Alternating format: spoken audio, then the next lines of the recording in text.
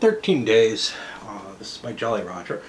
And obviously, the game is a clear attempt to take Twilight Struggle and distill it down into, I don't know, a half hour, 45 minute game, right?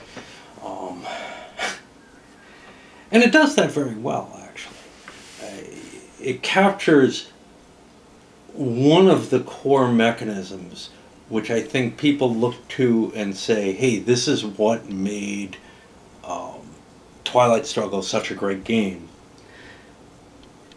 And focuses in on that, which is, you know, the, the card play, which forces you to make a decision do I want to play this um, for the points or do I want to burn this card on the opponent? You know, uh, in order to try to get some kind of scoring situation on the board itself. What's different here that's significant to me, really significant, yet I think covers more of a general gameplay thing, is the board state isn't really the same kind of board state that Twilight Struggle has. There are important areas in Twilight Struggle that are always important What's important here is up to what the players choose um, from their agenda cards, which means that you could well have board state carrying over that just does not help you at all, and it doesn't provide you with a lot of um, uh, interplay with other other locations on the board at all. Uh, the one exception to that is there is some residual effect to these that's a little different. And there's the potential that cards that you have in play, or, or pieces that you already have in play, um, the card for those pieces could come up again. There are some big differences, like the limitation on the number of pieces that you have. There's never any limitation in Twilight Struggle. So you have this additional little problem that you have to try to cope with, which is you only have 17 little cubes that you can put on the board, which means you want to withdraw cubes. The other thing is, whatever you do that's giving you points is also risking losing the game. Um, which is kind of in a sense, it's not just distilling Twilight Struggle, but it actually does manage to add some additional tensions to that core. And I think that's pretty rich, but it doesn't compare for me. Um, which is to say, from my standpoint, what I like in Twilight Struggle, and honestly, Twilight Struggle is about as small a game as I can handle for that kind of uh, situation, um, which you know definitely puts me in a position where I'm, you know, looking at this and I start comparing it to other games that I feel that it's competing with more than with Twilight Struggle. I think it's competing with games like Citadel. Um, yeah, 1955, which I think this blows away. Um, 1955 is another attempt to distill that um, CDG type experience into something much, much smaller and tighter. And it just completely does not do. I think this captures more of the flavor of that CDG decision between do you want the event, do you want uh, the ops points. um, and it especially captures that neat aspect of if I play this card, for for the ops points, I may be giving my opponent a real advantage. Yet I have this opportunity to shoot it into space or drop it into the aftermath, which is actually even more impressive because I'm not just burning a card that the enemy has. If I'm putting an enemy's card in here, I'm giving him a potential towards some more points, uh, which there's a lot of a lot of tight and difficult decision making as to what you want to do with what and obviously, if you don't pay enough attention, you could end up just losing the game automatically, as I did in my solo game. It's a hard game to solo because of that um, tightly compacted decision making. But from my standpoint, this is not a game that I particularly would break out very often. For example, Uh, I remember hearing in Marco's review, hey, you know, this may not be as deep as Twilight Struggle, and it's not, uh, from what I can see. But this would get played more often. Well, it's actually the opposite for me. Uh, generally, games of this nature, I play once and maybe dig up in a few years and play again. Okay, that's all games. All right. But I feel less uh, desire to play something that gives me a less rich experience. And that richness of experience that's lacking here actually has more to do with the representation than anything else.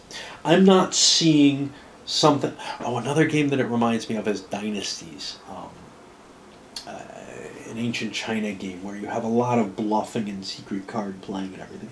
I like this mechanism better, I think, but you know, basically, I'm sitting down and playing something where, uh, unless I've got some kind of specific constraint where, yeah, you know, I'm at a tiny little, I'm on an ice cream table or something, you know, and I've only got a tiny amount of time, which is never the case. You know, if I have such a tiny amount of time, it's just like, let's break out a deck of cards and play a hand of, you know, rummy or something, right?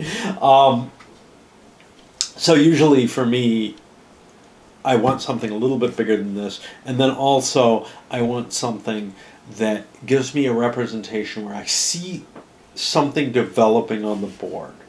And I don't have that something developing, that spatial representation that really uh, works well for me in Twilight Struggle. I see that I'm getting these spheres of influence in Twilight Struggle, and that I can build off them and work off them. I've got nothing like that really here. What I've got here is something where I'm trying to manipulate this little victory point track, and that just doesn't capture my imagination enough.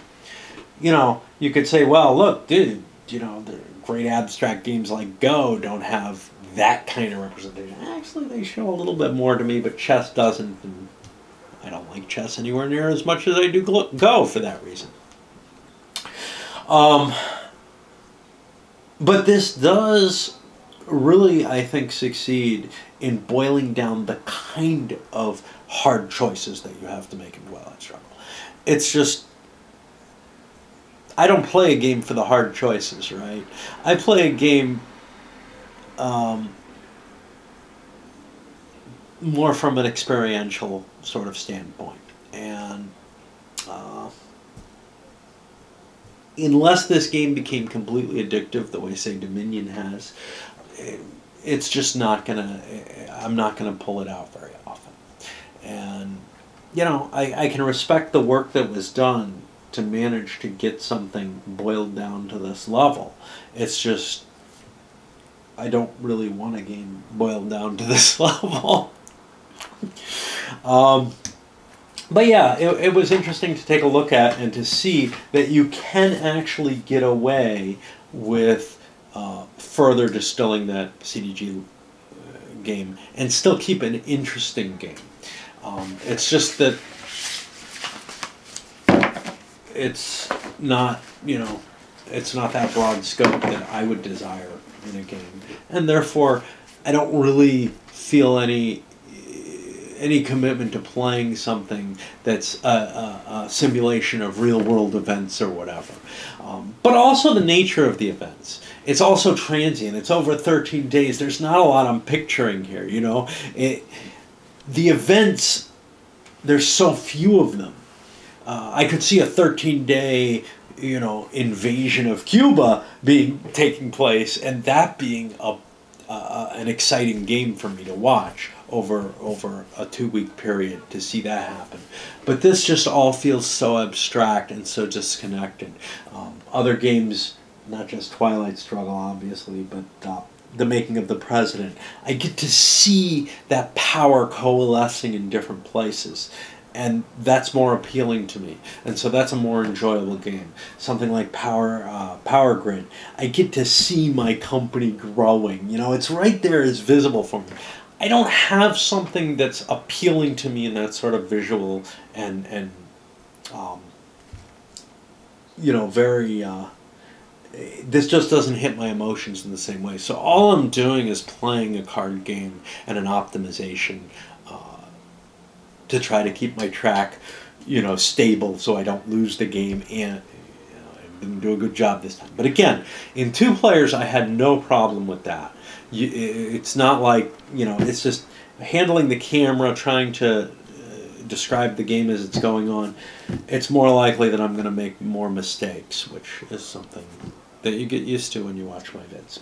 Um, but overall, yeah, you know, if if you really are looking for that, hey, there's something I really like about Twilight Struggle, about you know the tension in the gameplay and everything like that, but I don't have you know I have 45 minutes to play, and I want to play it on an ice cream table, and um, it's just that gameplay tension that I'm interested in.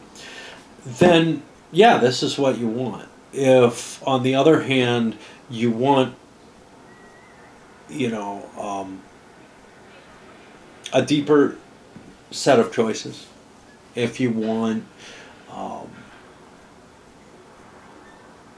if you want that visual history playing out, if it's important to you to see uh, sort of what's going on I don't think this provides that in the same way that I, I, I prefer a game to give me.